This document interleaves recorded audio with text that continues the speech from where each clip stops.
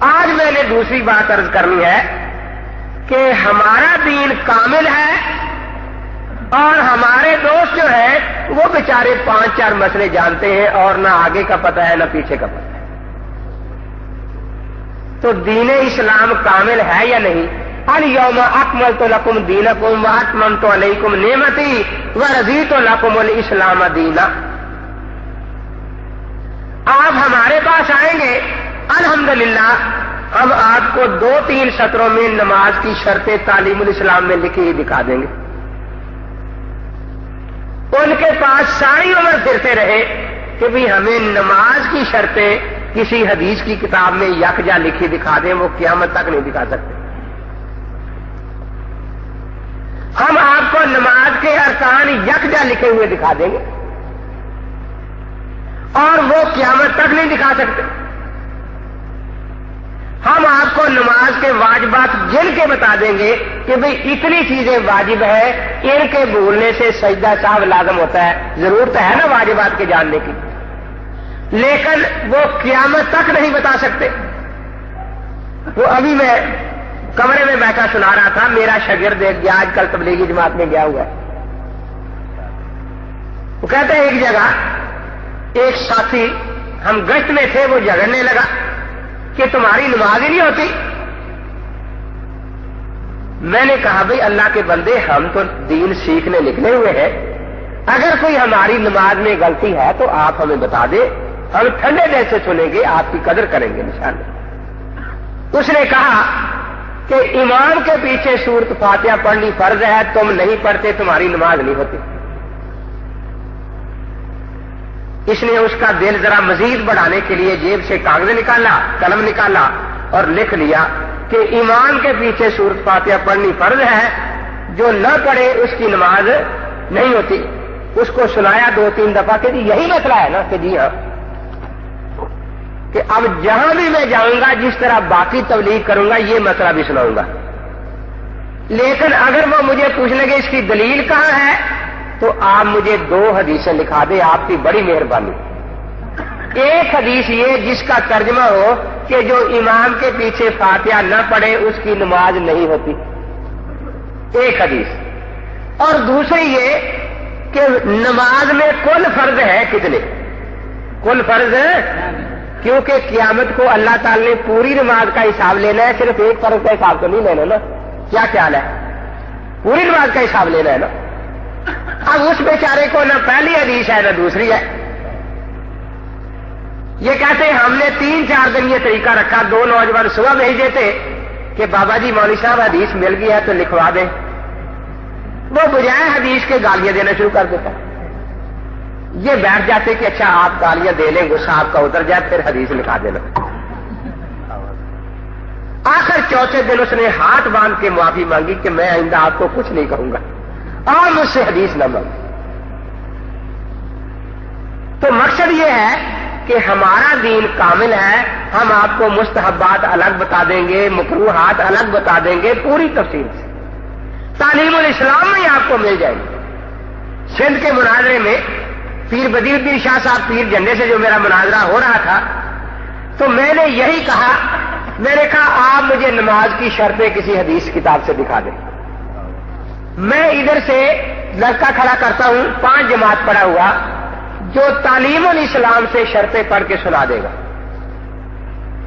آپ بھی وہ ترجمے والی کتاب حدیث کی نکالیں اور لڑکے کو دیں، وہ پڑھ کے سنا دیں نہ میں پڑھوں، نہ آپ پڑھے دنیا سنے کہ شرطیں کس کو آتی ہیں اور کس کو نہیں آتی۔ چار پانچ نوجوان ان کے کھڑے ہوئے، پیر سائی شرطیں سنا دو، مار دیا اس نے ہم کو۔ ہم دنیا میں پھرنے کے لائق نہیں رہے۔ ہر گلی بازار میں لوگ ہم سے شرطیں پوچھیں گے۔ اللہ کے واسطے شرطیں سنا دو۔ پیر صاحب اٹھے کہ بیس سال میرے پاس آ کر پڑھو، پھر شرطیں بتاؤں گا۔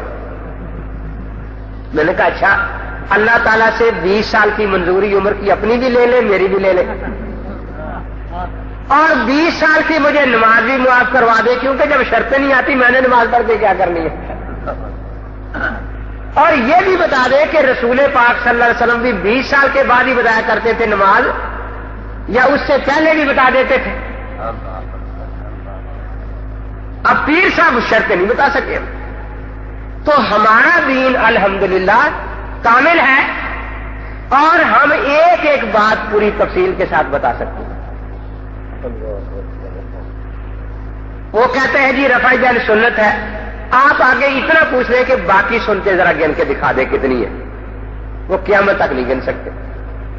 تو آپ میں آپ سے پوچھتا ہوں، دین کامل پر رہنا چاہیے یا کامل کو چھوڑ کر ناقص کی طرف جانا چاہیے؟ کامل پر رہنا چاہیے نا۔ تو آج میں نے یہی بات ارض کرنی ہے کہ دین الحمدللہ ہمارا کامل ہے۔ جس طرح دین کامل ہے، ہر مسئلہ بھی کامل ہی سمجھنا چاہیے، پورا سمجھنا چاہیے۔ کوئی مسئلہ ادھورا نہیں سمجھنا چاہیے۔ اور یاد رکھیے، بات سمجھنا سمجھانا مشکل نہیں ہے۔ البتہ زد کا دنیا میں کوئی علاج نہیں۔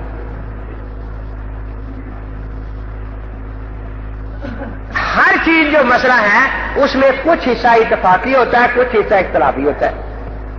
سمجھانے کے لیے ایک مثال ارد کرتا ہوں، میرا مناظرہ تھا عیسائی پادری سے۔ مجھے کہنے لگا کہ آپ حضرت محمد رسول اللہ صلی اللہ علیہ وسلم کی نبی ہونے کی ایسی دلیل بیان کریں جس کو میں توڑ نہ سکوں اور مجبور ہو جاؤں ماننے کے لیے۔ میں نے کہا میں سو دلیں سناؤں گا، تجھ پر اثر نہیں کریں گے۔ لیکن اگر طریقے سے بات ہو تو ایک دلیل بھی انشاءاللہ اثر کرے گی، ایک بھی۔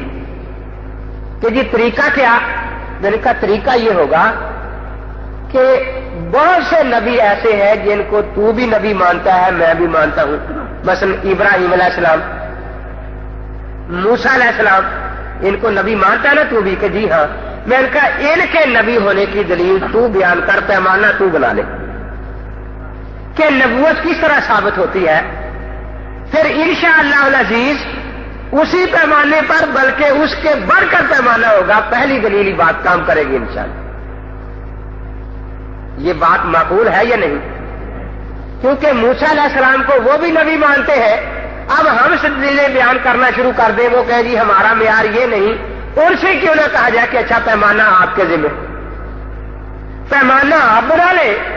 تو اسی پیمانے پر حضرت پاک کی نبوت ہم ثابت کرنے گے ان شاء اللہ جی۔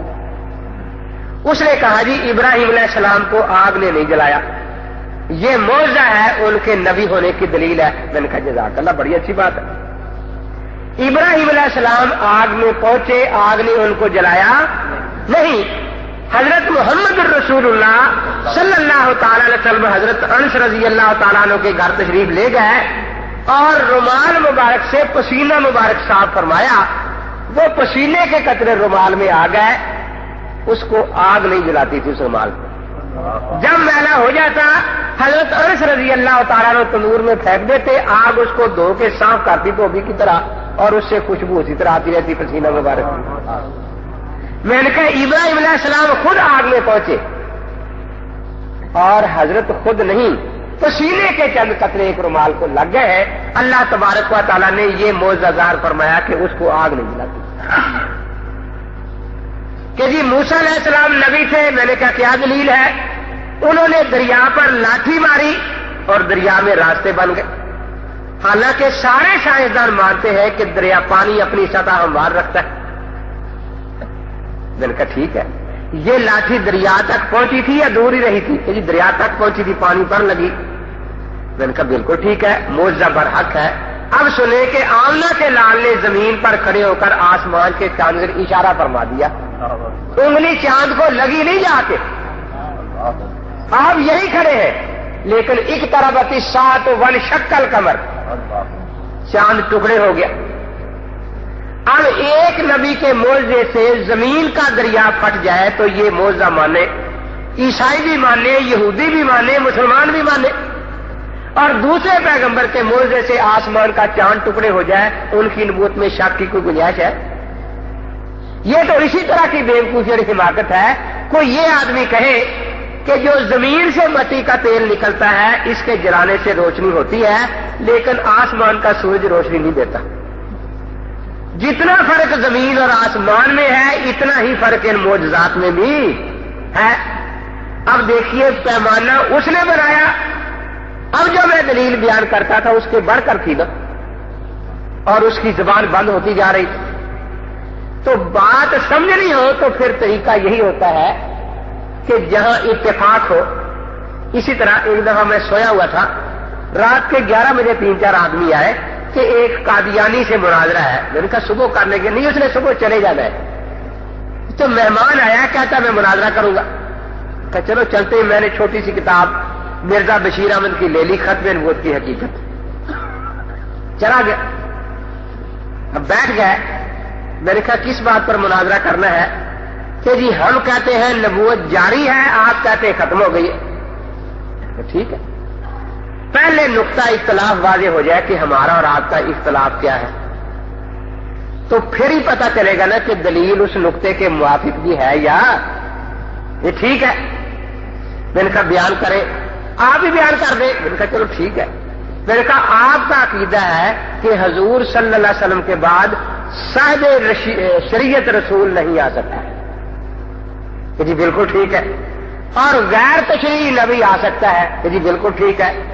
کہ مرزا قادیانی غیر تشریح نبی تھا یہ تین باتیں ہیں نا آپ کی۔ کہ جی ٹھیک ہے۔ میں نے کہا یہ جو لوگ بیٹھے ہیں، دیہاتی ہے زیادہ پڑھے لکھے نہیں، ان بیچاروں کو یہ نہیں پتا کہ شریعت والے نبی اور غیر شریف والے نبی میں فرق کیا ہے۔ میں نے لوگوں سے پوچھا، جانتے ہو؟ کہنے لگے جی نہیں۔ میں نے کہا یہ ان کو سمجھا دے تاکہ بات گیم واضح تو ہو جائے نا۔ کہنے لگا جی آپ ہی سمجھا دے میں نے کہا، ٹھیک ہے۔ میں نے وہی کتاب کھولی، اس میں لکھا تھا، حدیث لکھی تھی کہ اللہ تعالیٰ نے کم و بیش ایک لاکھ چوبیس ہزار نبی بھیجے ہیں۔ آ سکتا ہے۔ نبی اور مرزا قادیانی نبی ہے، رسول نہیں۔ ابھی تک اسے پتہ نہیں تھا کہ میں اس کو کہاں باندھ رہا ہوں۔ جی بالکل ٹھیک ہے۔ میں نے تین چار مرتبہ کہلا لیا کہ جی بالکل ٹھیک ہے۔ میں نے کہا، بسم اللہ۔ اب جو پہلا حصہ ہے نا کہ رسول نہیں آ سکتا، اس پر ذرا کوئی آیت پڑے میں کون پڑھا وہ ماں کانا محمد الباد مر رجال کم رسول اللہ و خاتم النبین اب اگر یہ آیت میں پڑھتا، وہ سو نفرے کرتا کہ خاتم کے میں نے مور ہوتا ہے، یہ ہوتا ہے، وہ ہوتا ہے۔ اب اس نے خود ترجمہ کیا کہ آپ آخری نبی ہے۔ جب اس نے ترجمہ کر لیا، میں نے کہا کہ بھائی، آپ کو یاد نہیں رہا، آپ نے کرنا کیا تھا اور کر کیا رہے ہیں۔ آپ نے یہ نہیں ثابت کرنا تھا کہ نبی نہیں ہے وہ تو آپ نے ثابت کرنا آنا ہے۔ آج پڑھنی تھی کہ رسول نہیں آنا، خاتم المرسلین والی۔ نبی تو آنا ہے نا آپ کے یہاں تو آپ نے تو الٹ کر دیا کام۔ اپنے خلاف ایت پر دی۔ اب اسے وہ شاید چل گیا جی آپ نے مجھے چکر دے دیا۔ کیا چکر کون سا ہے اس میں؟